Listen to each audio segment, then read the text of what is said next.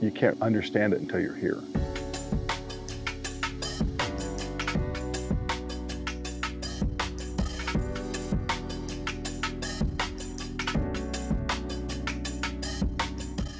Uh, Mount Rushmore National Memorial was created to represent the first 150 years of the nation's history represented by these four gentlemen on the sculpture.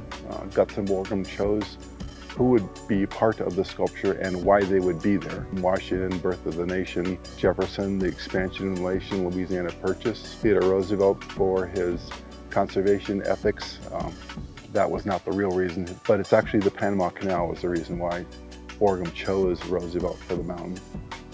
And of course, Lincoln is for the preservation of the nation through the Civil War.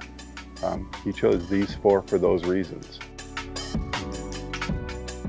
When people approach the memorial for the first time, as they walk through the flags, the individuals are draped with the history of the country. As each flag is represents, there are 57 because we've got the districts, commonwealths, and territories of the United States there as well, represented in their flag. The experience crescendos on the Grandview Terrace. And at any given time in the summer, there can be four to 700 people on the Grandview Terrace. But yet, each individual group of people are experiencing the memorial uniquely and individually. It's the power of that sculpture, the uniqueness that human beings took this thing and made something else out of it. The power of Rushmore transforms lives on the Grandview Terrace. The Ranger Talks here at the Memorial occur year-round, and each one of the individual interpreters create their own presentations. We don't hand presentations to you and say, you will present this. No, that's not what we're about. We're, we're about helping the individual interpreter create their own message that's guided by the overall themes of the memorial so that each individual interpreter can create unique programming because they're all, we are all unique people.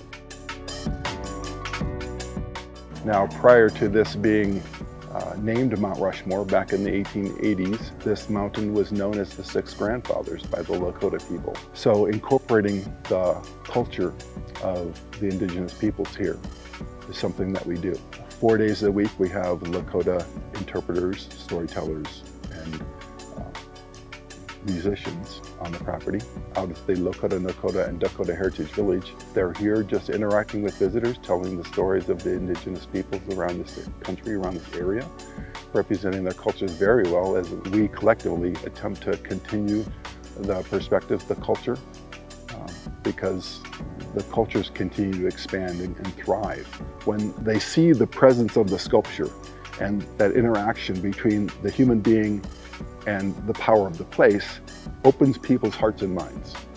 And then we are allowed to, if they come on a talk, interject perspectives that they've never heard before, both good and not so good, about the four and other things. But telling the truth is vitally important. So the experiences here at the memorial are, are wide and varied. Some things that unfortunately some people miss. One of them is the visitor center. So when you're standing on the Grandview Terrace, that's the roof of the visitor center. And people, you know, it's just foreign to think that you're standing on the roof of something, right? The Presidential Trail. Again, it starts and ends on the Grandview Terrace, and people don't know it's there. And the views along the Presidential Trail are so unique as you look up at the sculpture from a different perspective, a different vantage point. That's cool. Plus, as you walk down the avenue and you get to the parking structure just before you cross that first street, the view of the plains from here is amazing. On a good day, you can see Badlands formations on the horizon to the southeast. It's like nothing anybody's ever seen before the evening lighting ceremony, the number one attended program in the entire National Park Service.